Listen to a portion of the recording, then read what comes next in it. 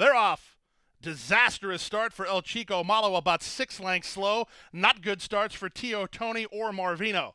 It was a good start for the second timer over the surface, who's headed off for the early advantage. Moving to him is Bandero, and Paradise Drive floated a bit deep on that first turn run. Saving ground is Stephen B. Good. Then back to Marvino. He's recovered after the bad break to race five ahead of Tio Tony, and after a terrible start, El Chico Malo was far back.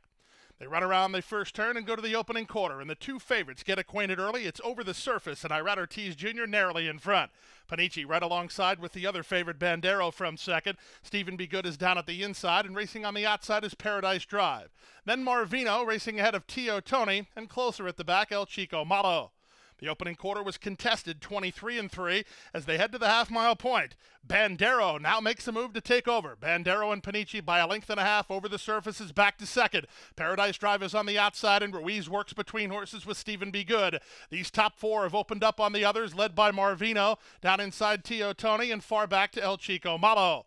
Around the far turn they go. Here's Paradise Drive to have a crack at Bandero. Paradise Drive driving forward to put a neck in front. Bandero is there second. Over the surface is tamely backed away. Stephen B. Good is on the outside as they pass the quarter mile mark. On the outside, Paradise Drive has the lead. Trying to fight back is Bandero. Two back to Stephen B. Good, then over the surface. There's an eighth of a mile to go. Anthony Thomas trying to get one more furlong from Paradise Drive. Over the surface is back running again, and down inside it's Bandero.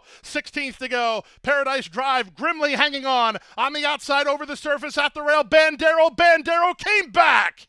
Bandero came back and beat Paradise Drive, who's in a place picture with over the surface. Stephen B. Good is fourth in 140.